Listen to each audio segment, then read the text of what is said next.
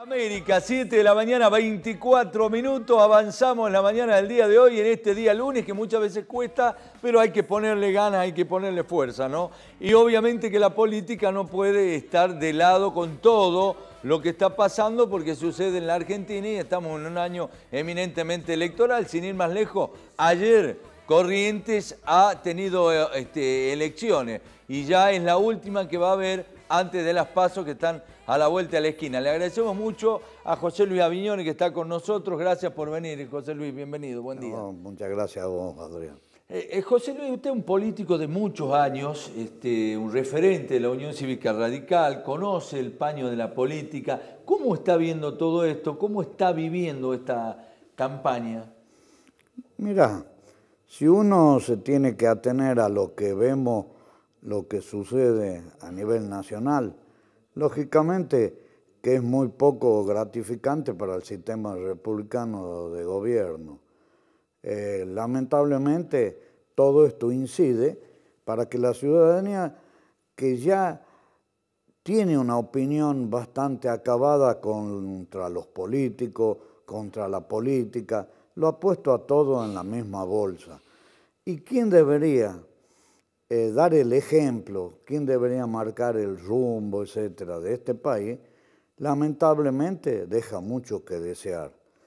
Yo me recuerdo de la época de la Isabel Perón, era una inepta, pero se sabía dónde iba, manejada por la ultraderecha, y, era, y ella era una persona que de formación de ultraderecha, que todos los días teníamos que estar con el Jesús en la boca, porque no sabíamos a quién lo iban a justiciar, según ellos, del bando contrario.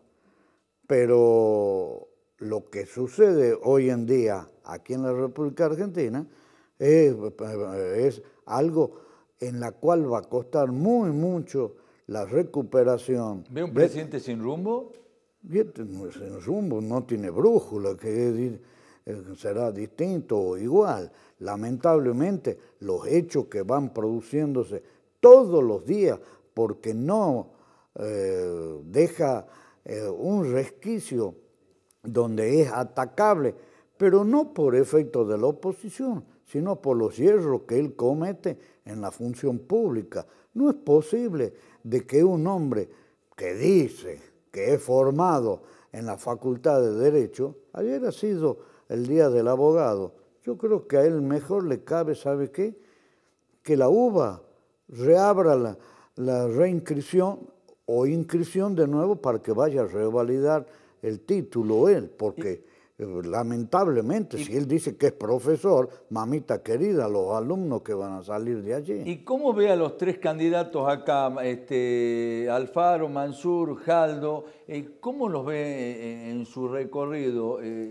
Y bueno, ¿Cómo analiza la campaña? todos son optimistas antes de, la, de las elecciones. El veredicto final, no estoy descubriendo nada nuevo, ni estoy escapando a tu pregunta. Eh, se lo va a ver cuando después de las 18 horas del día 12 se abran las urnas, los resultados, eh, en cuanto a si ha sido eficaz o no la tarea que ellos han desarrollado para captar el, voto. Alfaro ya le apuntó al 2023 también, ¿no? Dijo, quiero ser gobernador. Voy a ser el gobernador, dijo. Sí, bueno, es una afirmación de optimismo, de voluntad, de vocación, etcétera. No es la primera vez que se lo escucha, o por lo menos los que estamos más cercanos a él, se lo escucha permanentemente con esta, con esta prédica. Ah, parece loable, etcétera, pero lógicamente que hay que superar el, 2021, tanto para él como para todos los candidatos que pretendan ser eh, gobernador el día de mañana. Eh, Aviñón, en la pelea Mansur-Jaldo, Jaldo-Mansur, esta eh, nace en el origen de la denuncia de Jaldo cuando dice que busca la reelección este, o la elección eterna. Mansur, ¿cree que surge de, de ahí esta verdadera pelea? Yo creo que hay algo más que no lo conocemos porque eh, para mí son dos caras eh, de una misma moneda. O sea, eh, la disputa de ellos, que es un tanto inexplicable, pero tenía que, que salir a la luz. ¿Por qué? Esto tiene un origen, y un origen venal, que es la constitución que ellos han sancionado en la época de Alperoy a su gusto y paladar. Y a las pruebas me remito.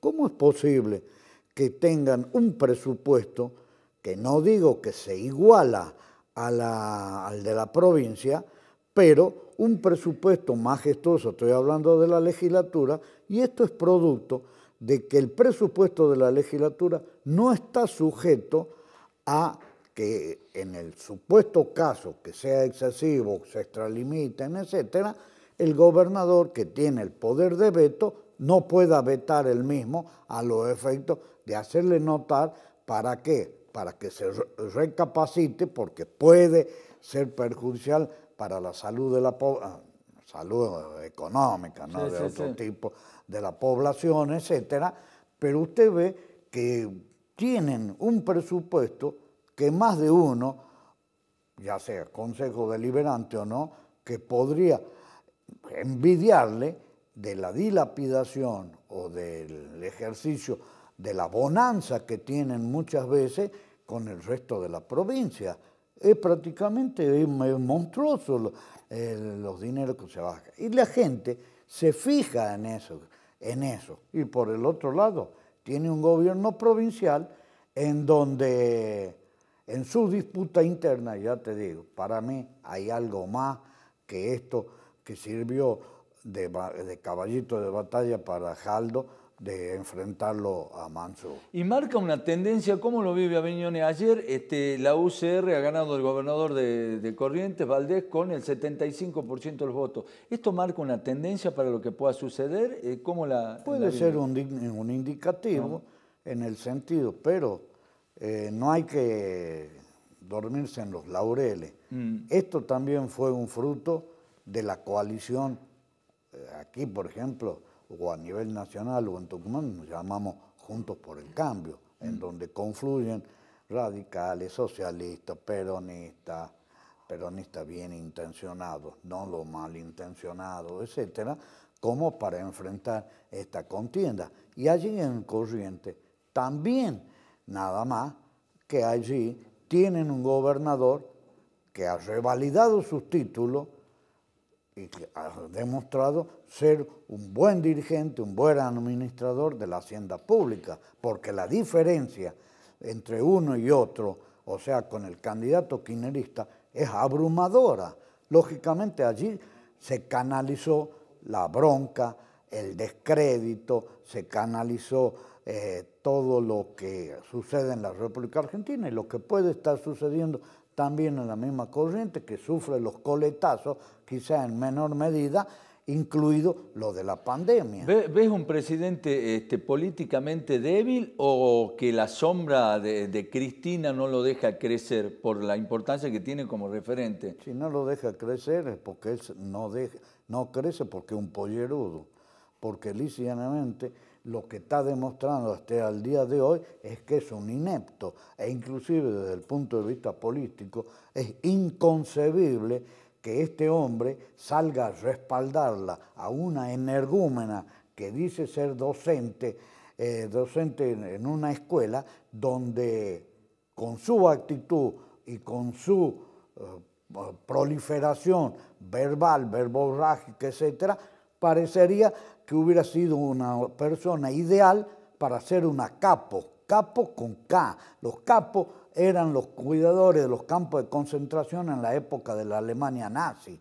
Y esta mujer se dirigía a los alumnos como si fuese que estuviesen en un campo de concentración. No sé si el apellido, creo, no sé si será de origen alemán, no quiero herir a la colectividad alemana, pero por lo menos hace sospechar que sus raíces pueden ser por allí del nazismo, pero realmente es inconcebible, como es inconcebible de este abogado que es abogado del presidente de la República, ese tal Dalbón creo que se llama, que le ha dicho al fiscal, a uno de los fiscales que era un coimero, que era un hombre este, alentado y, este, y mantenido por la colectividad judía, ¿Qué corno tiene que ver la colectividad judía, todo esto, el atentado a la AMIA, si el fiscal, ese que lleva a cabo la acción en contra del presidente, no tiene nada que ver con lo otro, pero este hombre que nos tiene ya acostumbrados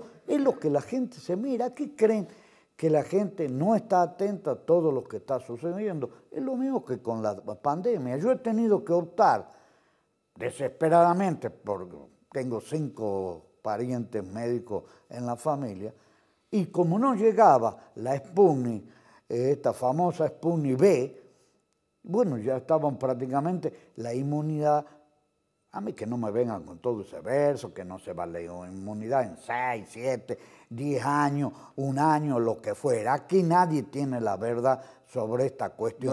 Pero he consultado, ¿me pongo la moderna o no me pongo la moderna como segunda dosis?